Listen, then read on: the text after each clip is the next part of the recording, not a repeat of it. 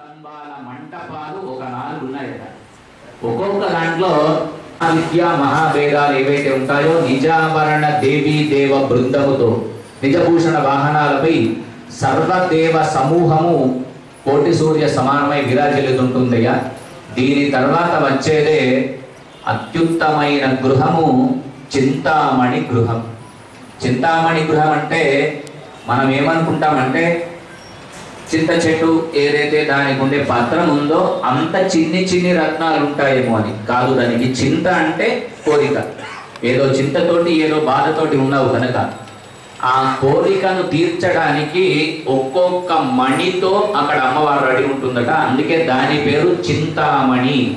ఏ చింత ఉన్న జ్ఞాన మంటపము ఏకాంత మంటపము శృంగార మంటపము ముక్తి మంటపం అని వాటి పేర్లు వాటిలో అమ్మవారు ఒక్కొక్క దానిలో ప్రవేశించి శృంగార మంటపంలో ప్రవేశించి అమ్మవారికి అలంకారము చేస్తూ ఉంటే లక్షల మంది వాళ్ళకు వచ్చినటువంటి ఒక గీతాలు పాడుతూ ఉంటే ఆ గీతాలతో అమ్మవారు వాటిని ఆలకిస్తూ అలంకరించుకుంటుందట.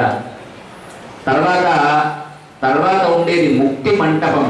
ఆ ముక్తి మంటపంలో తపస్సు చేసినటువంటి ఒక ఋషులు ఎవరైతే ఉంటారో అందరికీ ఉచితాసనం వేసి ఆ ఉచితాసనం పైన కూర్చున్న కూర్చున్న తపస్సులకు దేవీ ఆరాధన చేసే తత్పరులకు అక్కడ అమ్మవారు ప్రసాదాన్ని ముక్తిని ప్రసాదిస్తుందట. మూడవ మంటపము జ్ఞానోపదేశ మంటపం. అక్కడ ఎవరెవరైతే జ్ఞానులు అయి తపస్సు చేసి ఇంకా జ్ఞానం కావాలని అమ్మవారిని కోరుకుంటారో అక్కడ జ్ఞానోపదేశం చేస్తుంది. చివరిది నాలుగవ మంటపం ఏకాంత మంటపం అని ఆ మంటపంలో ఇప్పుడు చెప్పినటువంటి ఒక ఆమ్నాయ మంటపంలో ఉండే ఎనిమిది మంది మంత్రినులు ఎవరైతే ఉన్నారో ఆ ఎనిమిది మంది శక్తి తత్వాలుగా పది సోపానాలు ఉంటాయి. ఆ ఏకాంత మంటపానికి మనం వెళ్ళడానికి పది మెట్లు. సోపానం అంటే మెట్టు.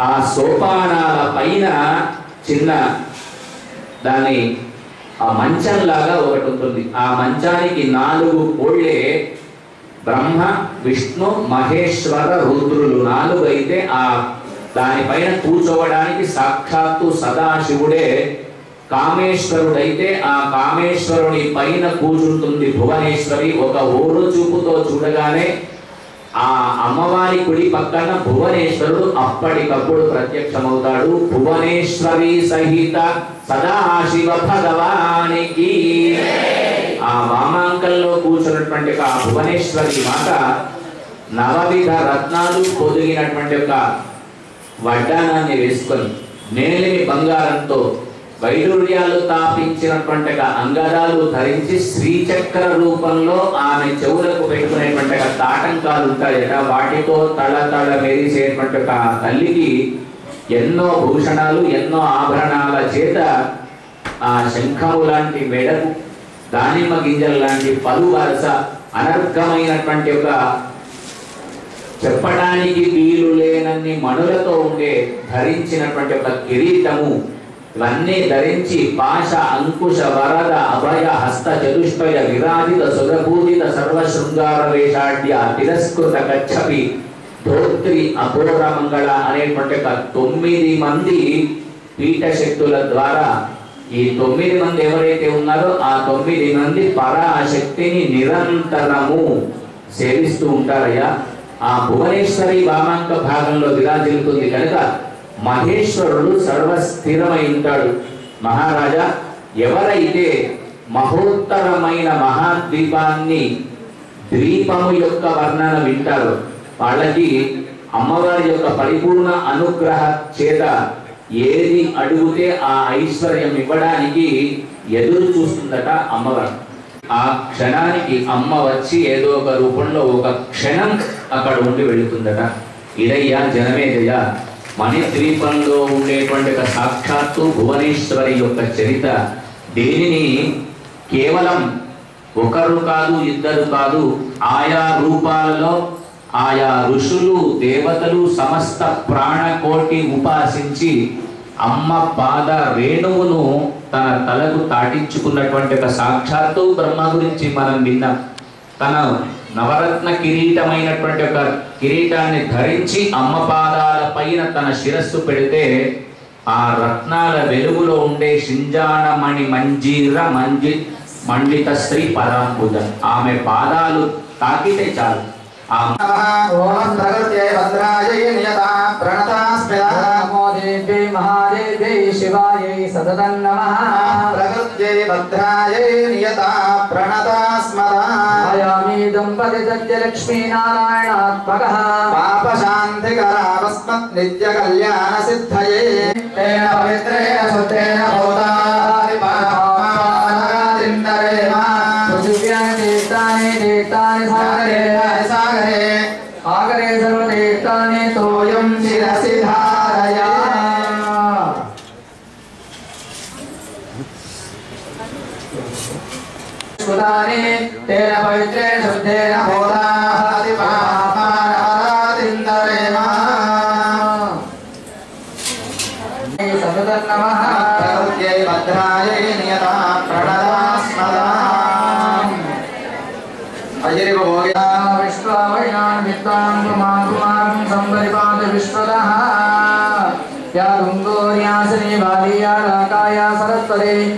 राणीमकूले वर्णानि स्वस्तये।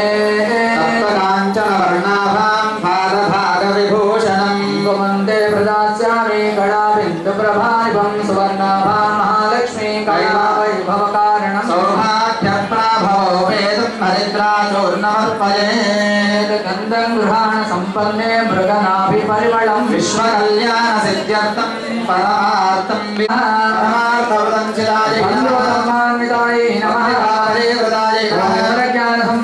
ていう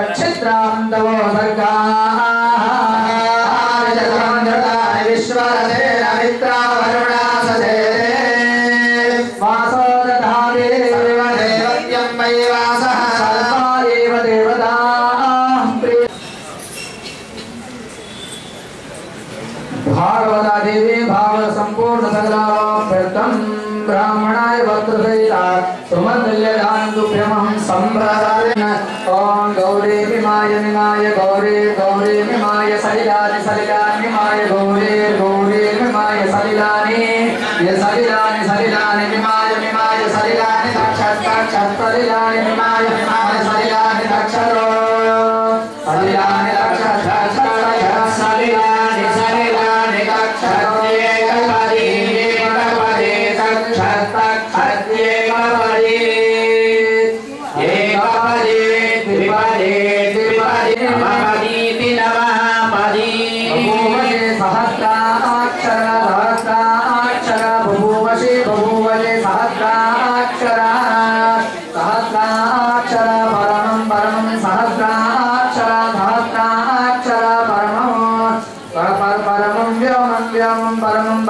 शास्त्रयाम केतया मातरं प्रजामहे मा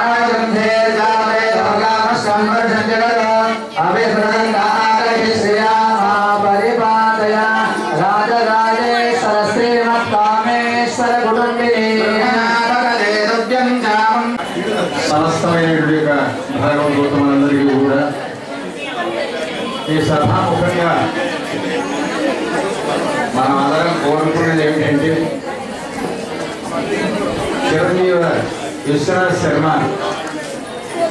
వేదిక ఎక్కాడు ఆ తర్వాత ఈ వేదిక ఎప్పటికీ సాగుతూ ఉండాలని భగవంతుని ప్రార్థిస్తూ దేవి భాగవతాన్ని వినిపించిన ఈ చిరంజీవి. ఇది నా కోరిక కాదు. బ్రహ్మశ్రీ వెంకటేశ్వర శర్మ గారు కూడా అన్నారు. మన విష్ణు చేత ఒకసారి శ్రీమద్ భాగవతాన్ని వినాలి. అలాగే జరగాలని ఆ కృష్ణ భగవాన్ని ప్రార్థన చేసుకుంటూ నాన్నగా ఈ వేదిక మీద శ్రీమద్ భాగవత శ్రవణాన్ని కూడా చేయించేటువంటి యొక్క అవకాశం ఆ కృష్ణ పరమాత్మ ఇవ్వాలి. మనమందరం కూడా కృష్ణ పరమాత్మ యొక్క దివ్య ఆశీస్సుల చేత శ్రీమద్ భాగవతాన్ని వినే భాగ్యం మనకు నిత్యవర్ణందమహస్తవారే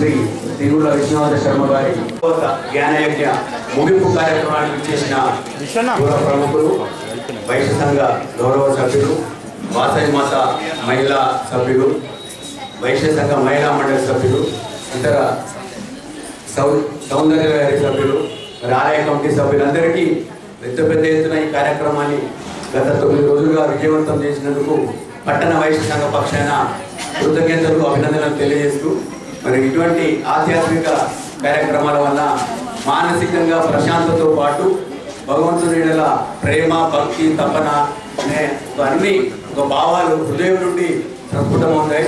మరి భవిష్యత్తులో ఇప్పుడే వేణుగోపాల్ స్వామి గారు చెప్పినట్టు వీరయ్య గారు చెప్పినట్టు ఈ కార్యక్రమం నిరంతరం ఇది ఒక ప్రారంభమే అనుకుందాం. నిరంతరంగా ఆలయ కమిటీ అందరి వైశ్య సంఘం అంటే జగిత్యాల పట్టణంలో ఉన్నటువంటి వైశ్య సంఘం అందరి అందరు ఎవరైనా స- సలహాలు ఇవ్వచ్చు సూచనలు ఇవ్వచ్చు వారి అభిప్రాయం తెలుపొచ్చు వారికి అనుగుణంగా వైశ్య సంఘం ముందుంటుంది. వైశ్య సంఘ అభిప్రాయ సభ్యుల అభిప్రాయాల మనోభావాలకు అనుగుణంగానే వైశ్య సంఘ కార్యక్రమాలు ఉంటాయి. మరి దా- దానికి సందర్భంగా మీ అందరికి మరొకసారి కృతజ్ఞతలు అభినందనలు తెలియజేస్తూ మరి ఈ మధ్యనే నేను ఒక మరి ఈ భాగవత కార్యక్రమానికి వచ్చినప్పుడు ఒక పుస్తకం ఈ మధ్యనే చదివాను. అష్టావక్రులు జనక మహర్షి కొడుకు వెళ్తారు వెళ్ళినప్పుడు జనకుడు అడతాడు మహాముని మరి నాకు బ్రహ్మ జ్ఞానం పొందాలన్నా ఒక శరణాగతి కావ- పొందాలన్నా భగవంతుని తపన పెంచ పెరగాలన్నా ఏం చేయాలి అని అష్టావక్రుడిని జనక మహర్షి అడుగు అడగడం జరుగుతుంది. అప్పుడు అష్టావక్రుడు ఏం చెప్తారంటే ఓ మహారాజా మీరు క్షమాగుణం దయాగుణం సత్యగుణం నిజాయితీ సంతోషం ఈ ఐదు సుగుణాలు మీ హృదయాలలో పెంపొందించుకోండి. మీ హృదయం శూన్యత ఏర్పడుతుంది. ఆ భగవంతుడు మీ హృదయంలోకి వస్తాడు. భగవంతుడి కోసం మనం మనం ఎక్కడ వెతకాల్సిన పని లేదు. Is in search of that empty hearts మన హృదయాలన్నీ ఏంటంటే మనం శూన్యత అంటే heart is gutter of humanity అంటారు. ఇంగ్లీష్లో సేయింగ్ ఉంది. ఒక మురికి కూపం. దాన్ని మనం ఇటువంటి కార్యక్రమాల్లో పాల్గొంటే మనం అంతా? మన స్వభావాలను మెరుగుపరిచే విధంగా ప్రతిరోజు నిత్య ఇటువంటి కా- ఇటువంటి మన వినడమే కాదు ప్రతిరోజు ఆచరణలో ఉన్నప్పుడే ఈ కార్యక్రమాల సద్వినియోగం పడే అవకాశం ఉంటుంది కాబట్టి వినుడు రావలేదు ఆచరణ. ఆచరణ ముఖ్యం. మరి ఆచరణ చేయాలంటే ఏంటి? సాధన. మరి ఇప్పుడు మనం ఏం పూజా విధానాలు చేస్తున్నాం? మరి సరిపోతుందా? దానికి అదనంగా మనకు హార్ట్ఫుల్నెస్ మెడిటేషన్ మెథడ్ ఉంది. యోగా. ఎందుకంటే భగవద్గీతలో శ్రీకృష్ణుడు చెప్పిండు యోగా కర్మస కౌశలం. యోగాతోనే ప్రతి వ్యక్తి పరిపూర్ణత పొందడం జరుగుతుంది. అంతేకాకుండా హృదయంలో భగవంతుడు హృదయంలోనే ఉండడం ఒక భావనతోని మనం అంతర్గతంగా భగవంతుని అందులో హృదయంలో ధ్యానం ద్వారా కనుగొని అందులో ఐక్యం అవడమే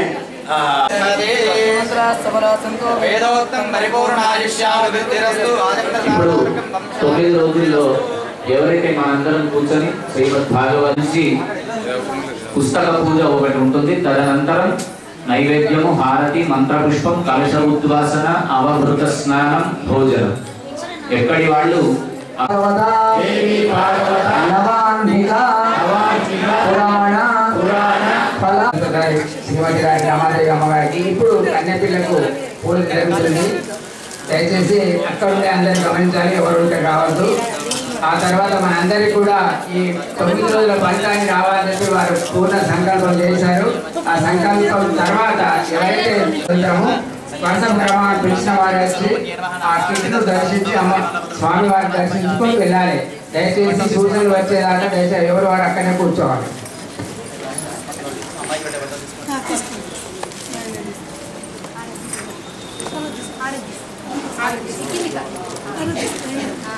Gracias.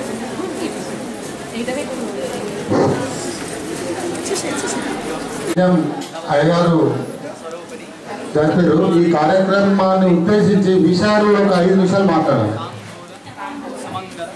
మహాసరస్వతి నమ.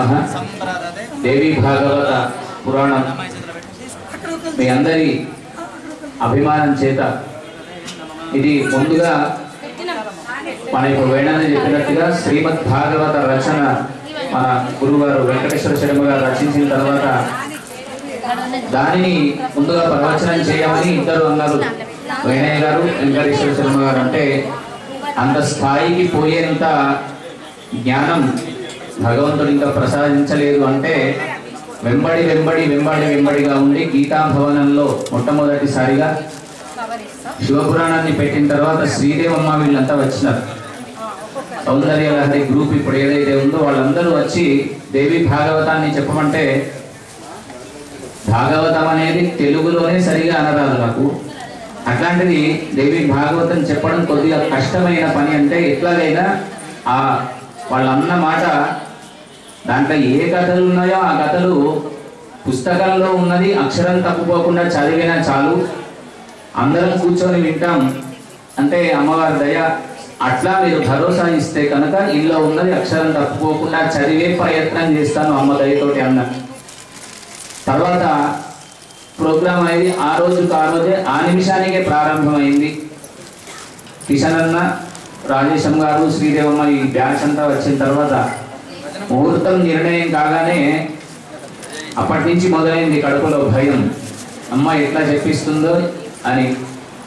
ఆ భయము చేత దానిలో ఉండేటువంటి మొట్టమొదటిగా దానిలో శ్లోకాలను ప్రారంభే ప్రారంభం చేసి చదవడం మొదలుపెట్టినాను. మధ్యలో చిన్ని చిన్ని కార్యక్రమాల ద్వారా పూర్తిగా పుస్తకం చదవలేకపోయినా. భగవంతుడు కరుణించి ఒక నాలుగైదు రోజుల పాటు భారీ వర్షాలు ఉన్నాయి. సరే ఈ ప్రోగ్రాం జరుగుతుందో జరగదో అనే ఆలోచన ముందుగా నాకే ఉండేది. తర్వాత పౌర్ణమి రోజున సాయినాథ స్వామి ఆలయంలో జరిగే పూర్ణాహుతి ఆ రోజున చివరి రోజున శ్రీదేవమ్మ గారును మన రాజేందర్ అర్వపల్లి రాజేందర్ గారు రాజేశం గారు వీళ్ళంతా ఉండి మరి అయ్యగారు వర్షాలు పడుతున్నాయి కదా. భక్తులు ఎవరైనా రాకపోతే మనం అనుకున్నటువంటి ఒక కార్యక్రమం పోస్ట్ పోన్ చేద్దామన్నారు. నాకు అప్పుడు ధైర్యం పెరిగింది. ఎందుకంటే వర్షాలు పడితే మంది తక్కువ వస్తారు.